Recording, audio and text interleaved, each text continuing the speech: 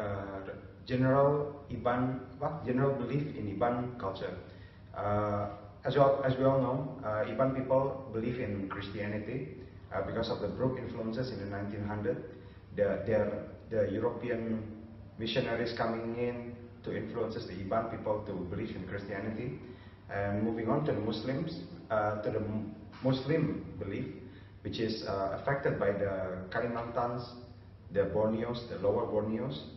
Uh, back in the days uh, when the South, uh, Islam Sultanate was on the rising, then some of it believe in animism.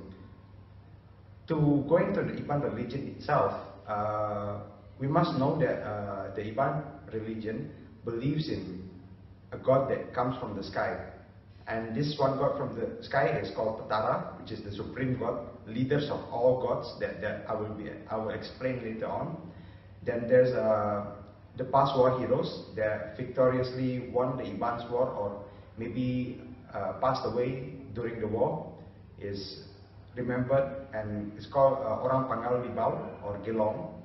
And then uh, not forgetting the the ghost spirits and the, the, the, the dead ancestors of the past generations uh, in Iban in Iban genera generation line. Uh, moving on, there's uh, seven gods that need to be known and those seven gods ranging from uh, God of War, which is uh, Sengalang Burong, and the and then moving uh, continue to God of Wealth, which is uh, Andamara.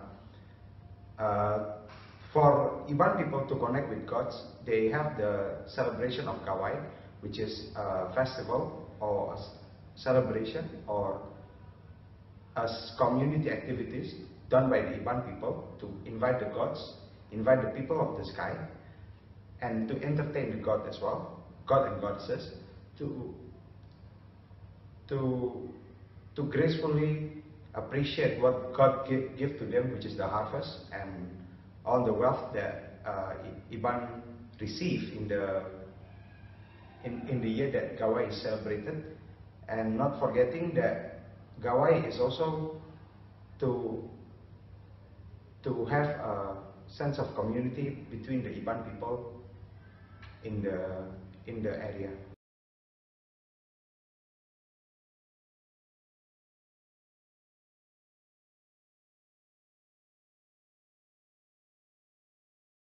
Hello everyone, I'm Fu from BC17.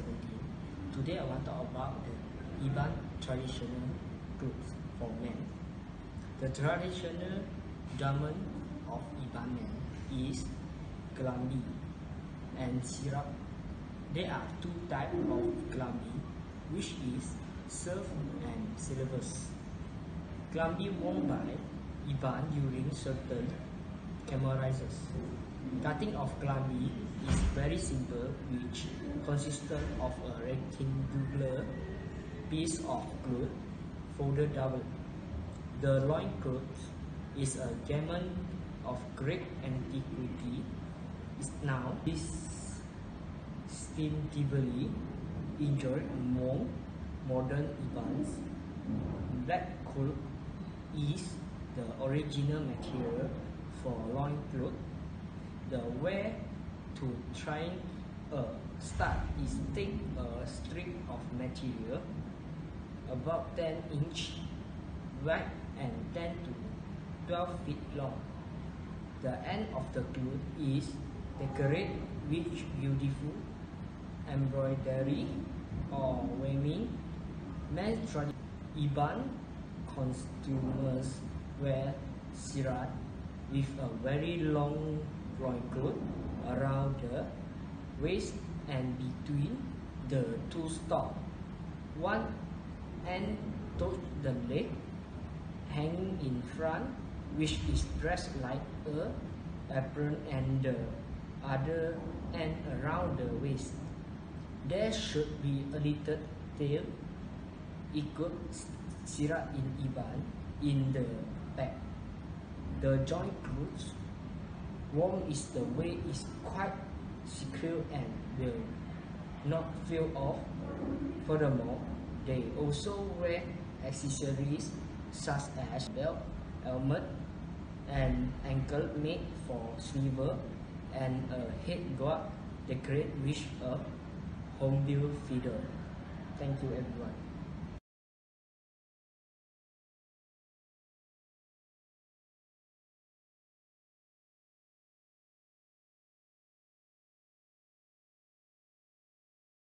Good evening, my name is Sanjit Singh from DC 17 and today I'm going to be talking about traditional clothes for Iban women. The, the Iban traditional cloth costume for women is Marik Empang and Kain Kebat. Marik Empang is a combination of beads and hand-stitched cotton decoratives outer garment. It is usually red in color.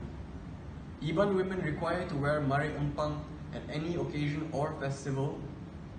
The Ngajat or the traditional Iban dance performed by Iban women must wear the Marik Empang as part of the outer garment, adoring the, her, her shoulder. Kain Kebat, which is a cloth patterned by the Ikat, a tie technique, which is a cloth pattern. Normally, the Kain Kebat is decorated with colorful stripes and patterns. It is made of cotton as well. The Kain Kebat is narrow and its length is only about until knee. The Marik Empang, which is a chest adornment, the Sugu Tinggi head dress, and other silver ornaments such as coin belt and bangles are worn with the Kain Kebat. Thank you.